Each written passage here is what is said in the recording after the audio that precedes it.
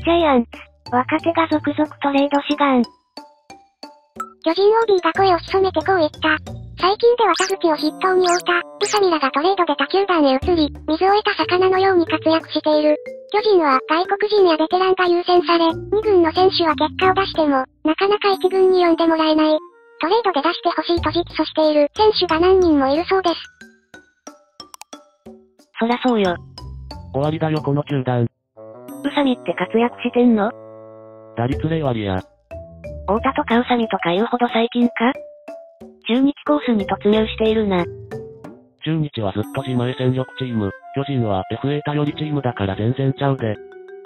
田口は FA で巨人戻るんじゃない？戻るわけねえじゃんヤクルトは副業まで認めてんのに。